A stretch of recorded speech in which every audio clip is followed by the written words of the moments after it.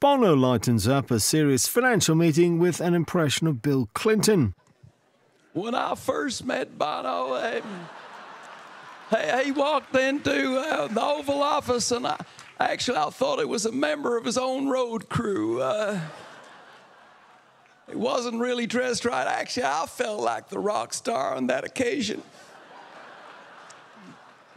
But together, you know, we did this drop the debt thing, and my God, there's 51 million children going to school in Africa because of the drop the debt thing. That's pretty good, isn't that right? The U2 frontman awaiting the arrival of the former US president at the Clinton Global Initiative in New York, leaping across to sit in his seat and ham it up, like a schoolchild doing an impression of the teacher to his classmates. It's David Letterman. until Sir finally turns up and looks down his glasses at you. I must be really easy to make fun of.